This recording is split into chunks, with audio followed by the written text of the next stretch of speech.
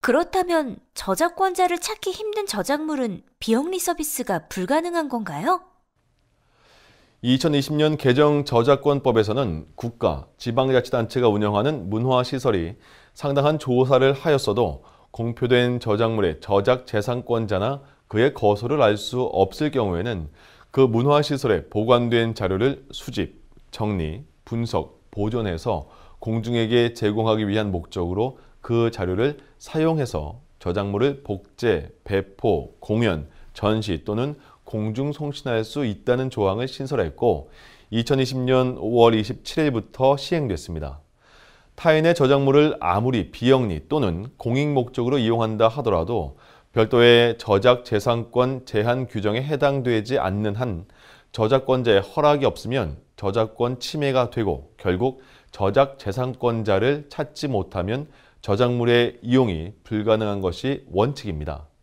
물론 저작 재산권자가 불명인 공표된 저작물에 대해서 일정한 절차에 따라서 저작 재산권을 찾아본 후에 문화체육관광부가 고시한 보상금을 공탁하고 이용할 수 있는 방법이 현행 저작권법에도 마련되어 있지만 이번 신설 규정은 공공문화시설로 하여금 상당한 조사를 하고도 저작 재산권자를 찾을 수 없으면 먼저 보관된 자료를 사용해서 공표된 저작물을 이용하게 하고 사후에 저작 재산권자의 보상금 청구가 있으면 협의된 보상금을 지급하게 하는 방식을 취함으로써 공공문화시설이 저작자 불명의 공표된 저작물을 이용하는 것을 보다 용이하게 하는 의미가 있습니다. 이번에 신설된 조문의 혜택을 받는 문화시설에는 어떤 곳이 있나요?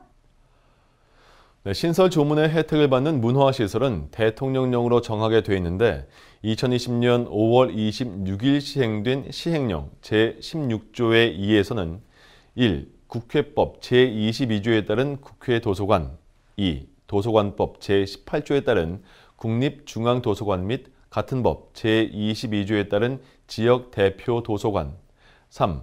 박물관 및 미술관 진흥법 제10조에 따른 국립중앙박물관, 국립현대미술관 및 국립민속박물관 등을 법 제35조의 4 문화시설로 열거하고 있습니다.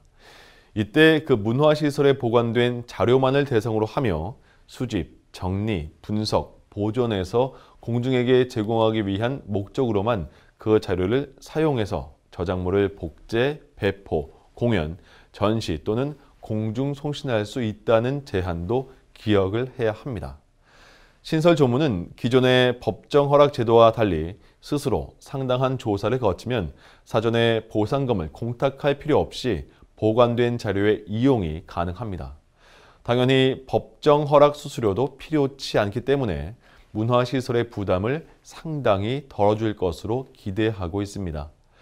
다만 사후에 저작 재산권자가 나타나서 이용 중단과 보상금을 요구할 수 있으므로 사전에 상당한 조사를 통해서 저작 재산권자나 그 거소를 알 수 없는 경우임을 확인하기 위한 노력이 필요하고 제50조 법정 허락 제도의 운영 경험상 저작권자가 나타나서 보상금을 요구하는 사례가 흔할 것으로 우려되지는 않으나 사후 보상금에 대한 협의와 예산 문제도 대비할 필요가 있습니다. 국민들은 도서관 등 문화시설에 직접 가지 않고도 저작물을 향유할 수 있도록 비영리 공익 목적의 비영리 서비스가 활성화되길 바라고 있으며 국립중앙도서관 등 일부 기관에서는 이와 같은 수요를 인지하고 관련 서비스 개발에 관심을 가지고 있습니다. 자, 이런 상황에서 제35조의 4신설은 이와 같은 현실에 분명 도움을 줄 수 있을 것으로 보입니다. 하지만 제도가 현실에서 효과를 나타내기까지는 많은 사람들의 고민과 노력이 추가적으로 필요할 것입니다.